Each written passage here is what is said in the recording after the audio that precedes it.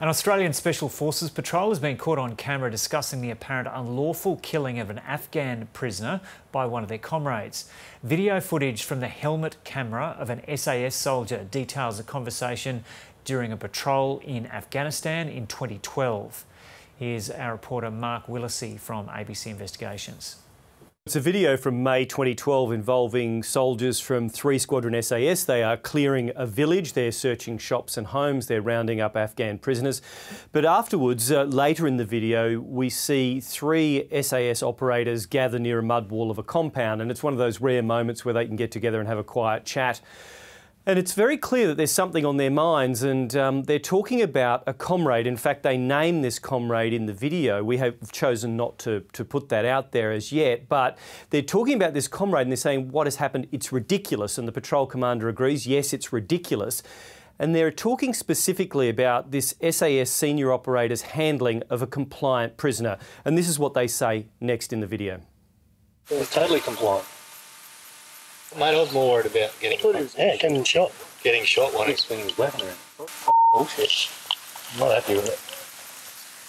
One of the engineers came down, yeah, that happened. He just took me in the corner and shot him. And so, Mark, what does this say about what may have been happening in Afghanistan among Australia's special forces? Well, we know, Joe, that there are allegations that have been investigated and are being investigated by the Inspector General of Defence that prisoners, Afghan prisoners, were bashed, that some were shot, that they were unlawfully killed. This would appear to suggest that um, one of those prisoners, a PUC as they're called, a person under confinement, was shot by this senior SAS operator.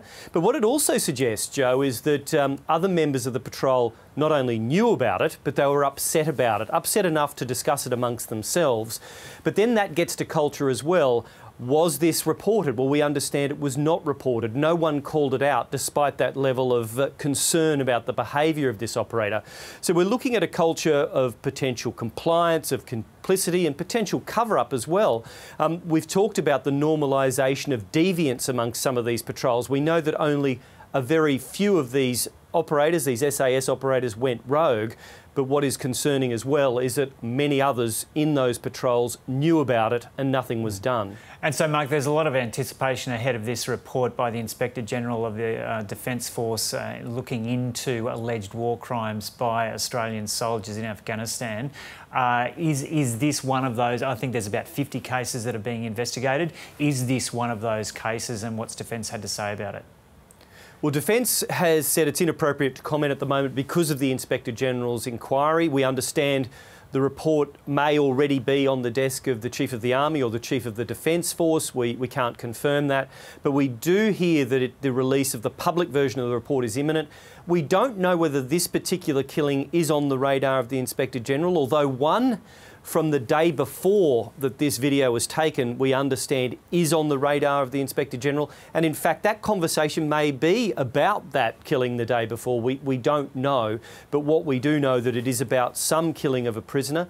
Um, we do also know that from the Inspector General's report to Parliament that he's looking at at least 55 separate incidents of breaches of the laws of war, and that could go all the way up to war crimes. So I think many in defence, many in our special forces are bracing for what we, we understand will be quite a shocking report.